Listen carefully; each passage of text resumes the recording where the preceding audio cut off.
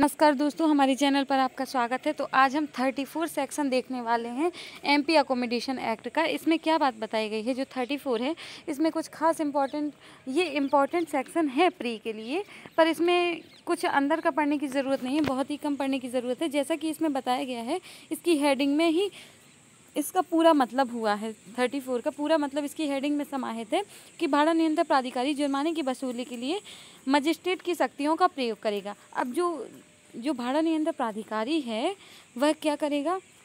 Magistrate की शक्तियों का प्रयोग करेगा और वह मजिस्ट्रेट की शक्तियों का प्रयोग सीआरपीसी के 421 से 424 प्रक्रिया का पालन करेगा। मतलब 421 से 424 तक की जो शक्तियाँ मिली हैं मजिस्ट्रेट को, वो वाली शक्तियों का प्रयोग करेगा।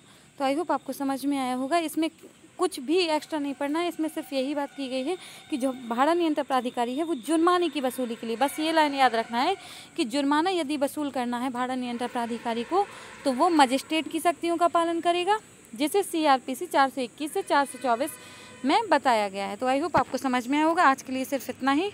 बाकी हम बाद में देखते हैं। Thank you bye bye